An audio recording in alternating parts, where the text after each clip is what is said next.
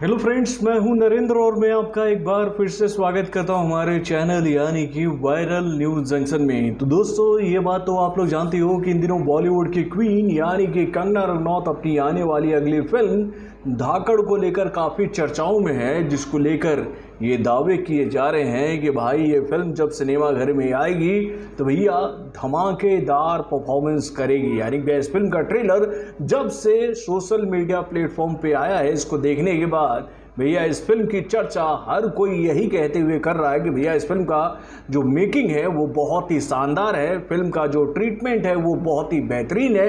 Film का जो action है, वो आउट ऑफ़ द बॉक्स है और भाई, उसके बाद फ़िल्म की जो कहानी है, वो लाजवाब है। और इस फ़िल्म में अर्जुन रामपाल और कंगना रनौत जो हैं, वो बेहतरीन परफॉर्मेंस करते नज़र आ रहे हैं और इनके परफॉर्मेंस को देखने के बाद ऐसा लगता है कि ये फ़िल्म बॉक्स ऑफ़िस पर कमाई के मामले में बॉलीवुड के लिए झंडे गाड़ने वाली है।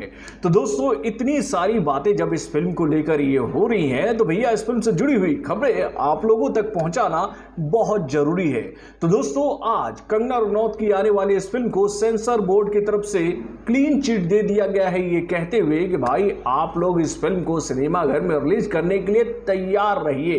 यानी कि इस फ़िल्म को सेंसर बोर्ड की तरफ़ से जो सर्टिफिकेट मिला है, वो ए का मिला है, यानी कि एडल्ट का सर्टिफिकेट लेते हुए ये फ़िल्म सिनेमा घर में एंट्री मारने वाली है। और इस फ़िल्म को लेकर जो जानकारी हम लोग के सामने आई है भैया इस फ़िल्म का जो रन टाइम है, वो है 131 मिनट 34 सेकेंड का। यानी कि भैया ये फ़िल्म दो घंटे 11 मिनट चौंतीस सेकेंड की फ़िल्म है। और भाई, इस फ़िल्म में आपको बहुत सारा एक्शन उसके साथ ऐसे कई सारे दृश्य देखने को मिलेंगे, जो कि भैया आप अपने फैमिली के साथ बैठकर नहीं देख सकते हो। तो भाई एडल्ट का तमगा लेते हुए फ़िल्म सिनेमाघर में आने वाली है 20 तारीख को।